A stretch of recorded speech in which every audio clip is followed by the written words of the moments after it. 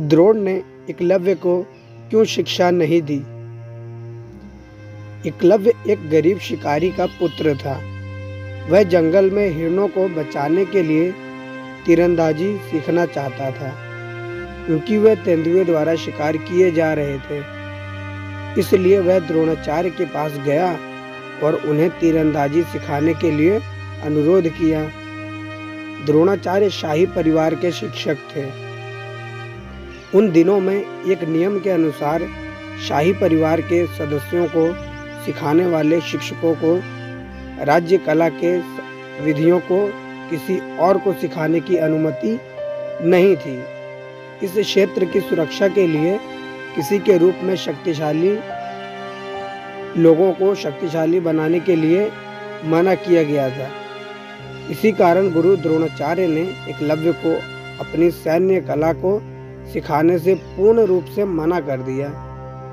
एकलव्य इस बात से थोड़ा दुखी हुआ, परंतु अपने दिल में एकलव्य ने पहले ही द्रोणाचार्य को अपने गुरु के रूप में स्वीकार कर लिया था।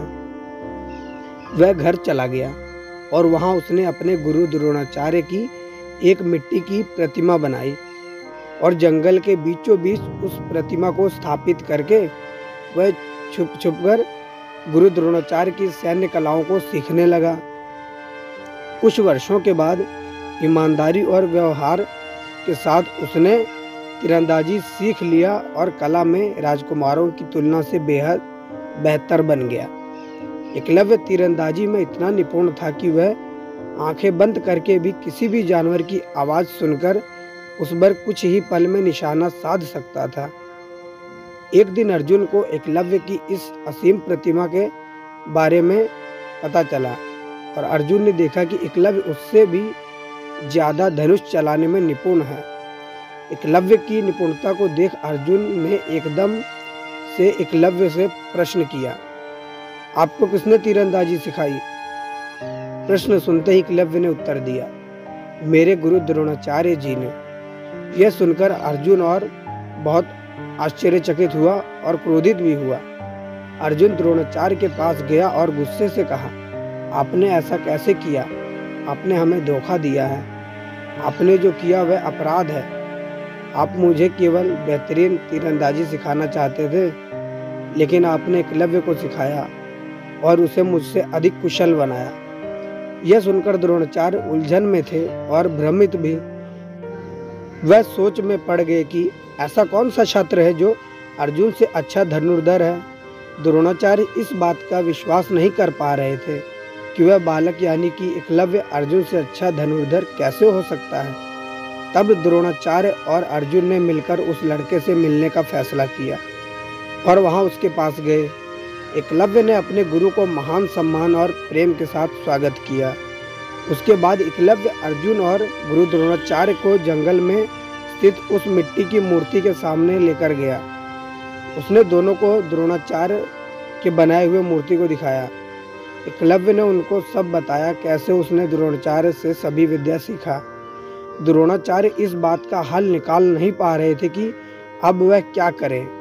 प्राचीन काल में गुरु छात्र में ज्ञान लेने के बाद एक सामान्य प्रथा थी, गुरु दक्षिणा।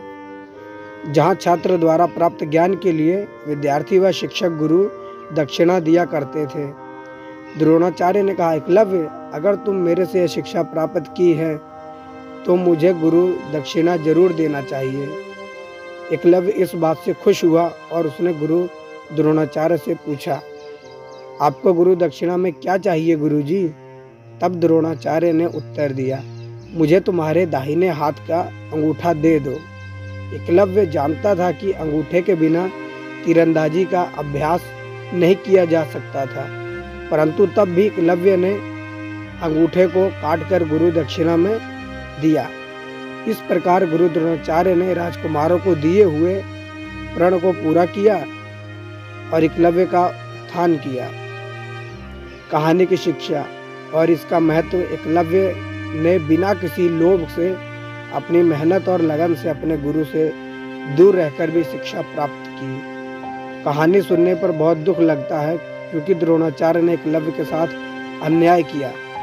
परंतु अगर हम देखें तो एकलव्य ने इतना बड़ा गुरु दक्षिणा देकर शिष्य तत्व का अर्थ पूरे दुनिया में समझाया, और इसलिए उन्हें ही सबसे पहले एक अच्छे शिष्य के नाम से याद किया जाता है। तो ये थी हमारी कहानी आज की।